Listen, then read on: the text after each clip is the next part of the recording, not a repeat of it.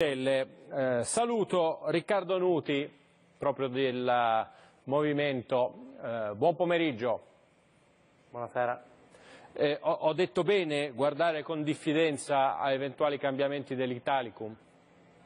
Eh, beh, eh, sì, direi che ha detto bene per il semplice motivo che chi cambierebbe l'Italicum sono gli stessi che fino a un anno fa eh, ci hanno detto costantemente che era una legge meravigliosa, che era giusta finalmente una nuova legge elettorale e oggi in base ai sondaggi e ai risultati che vedono vincente il Movimento 5 Stelle con o senza questa legge elettorale eh, la vogliono cambiare proprio perché probabilmente potrebbe favorire il Movimento 5 Stelle. Ecco, noi abbiamo sempre detto che questa legge è pessima, lo abbiamo detto più e più volte ci è stato detto che era invece una legge positiva. Abbiamo fatto una nostra proposta di legge elettorale che abbiamo chiamato il Democratellum e nonostante questo ci hanno votato no e ci hanno detto che non era buona. Ora, dopo un anno, ci dicono che vogliono cambiare l'Italicum e chi dovrebbe cambiare l'Italicum? Sempre questi soggetti che prima ci hanno detto che era, eh, che era una buona legge. Eh, capisce bene che non possiamo che essere abbastanza perplessi e dubbiosi e dire che non si può pensare di cambiare una legge elettorale in base ai risultati elettorali mm. e ogni anno.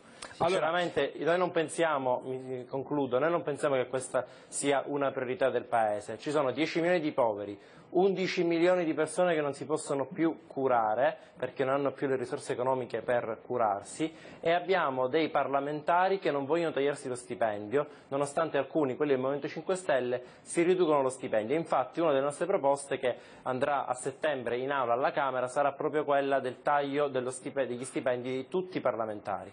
Queste sono delle priorità per il Paese, non certo la legge elettorale. Resta però eh, comunque importante anche sapere come, eh, come eh, eleggeremo eventualmente il prossimo, il prossimo governo e eh, non c'è dubbio, dubbio, che eh, dopo l'esito delle amministrative e con la vittoria diciamo, del Movimento 5 Stelle in, uh, se non ricordo male, 18 ballottaggi su 19, c'è gente... 19 su 20. 19 su 20, eh, c'è gente nel Partito Democratico che ha detto beh allora così andiamo a perdere.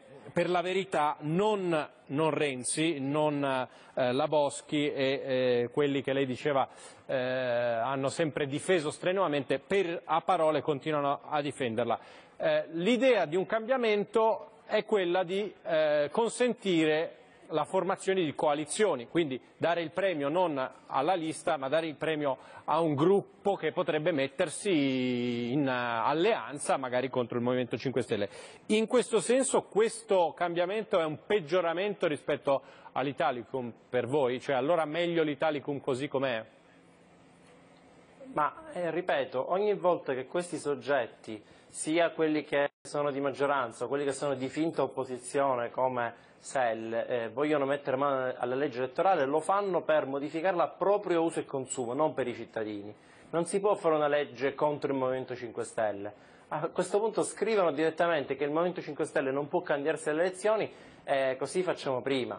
Noi riteniamo da questo punto di vista che questa volontà di premiare le coalizioni, cioè gli agglomerati di partitini eh, e partiti per sconfiggere il Movimento 5 Stelle sia qualcosa assolutamente di pessimo e che eh, sarebbe ancora un peggioramento rispetto a una legge che già di suo, l'abbiamo sempre detto, è eh, negativa. Mm. Eh, leggo, leggo, le dichiarazioni di, di, di Battista eh, la campagna contro il referendum, il no al referendum, svitiamoli eh, dalle poltrone, il modo migliore per bloccare in un colpo solo le schifezze delle riforme costituzionali e un Italicum che produrrà un Parlamento eh, di nominati. Ecco, questo modo migliore, votare no al referendum. Però mi scusi, questo non è vero, cioè il referendum non c'entra con l'Italicum, o sì, cioè il fatto è che anche se si votasse no al referendum poi si avrebbe l'Italicum per la Camera e il cosiddetto consultellum, insomma un maggioritario per il Senato. Ma, eh, le, la revisione costituzionale che viene chiamata impropriamente secondo me riforma costituzionale è strettamente legata alla legge elettorale all'Italicum. Per questo molte persone, molti costituzionalisti parlano di pericolo per la democrazia, proprio perché sono, è un combinato disposto di due provvedimenti veramente pessimi. Quindi votare no al prossimo referendum che ci sarà probabilmente ad ottobre o, o giù di lì permetterà ai cittadini di non peggiorare quella che è la situazione attuale, perché purtroppo con questa maggioranza di migliorare le cose eh, non se ne parla. Mm. Lei consideri che per esempio abbiamo proposto durante le eh, riforme costituzionali eh, l'abolizione dei vitalizi, abbiamo eh, proposto il dimezzamento degli stipendi dei parlamentari e il dimezzamento del numero dei parlamentari.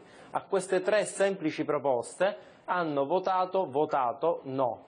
Quindi se lei considera che per ogni ora, ogni ora che viene utilizzata alla Camera per lavorare eh, costa agli italiani 100.000 euro, mi chiedo se dobbiamo utilizzare 100.000 euro all'ora, sottolineo all'ora, per modificare la legge elettorale o se invece non vale la pena votare no a questo referendum costituzionale e mandare eh, questi soggetti che fanno finta di essere dei politici in realtà, come abbiamo sempre detto, sono più dei ladri che dei politici, li mandiamo finalmente a casa. Sì, però poi eh, dopo con le altre elezioni ne arriverebbero altri che costerebbero lo, lo stesso. eh, questo- Eh no, probabilmente, probabilmente potremmo avere un Movimento 5 Stelle al governo Beh, che però, aspetti- riuscirebbe a ridurre veramente voglio, i costi.